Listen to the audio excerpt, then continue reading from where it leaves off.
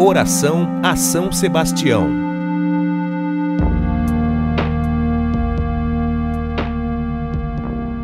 Glorioso mártir São Sebastião, soldado de Cristo e exemplo de cristão, hoje vimos pedir a vossa intercessão junto ao trono do Senhor Jesus, nosso Salvador, por quem destes a vida, vós que vivestes a fé e perseverastes até o fim.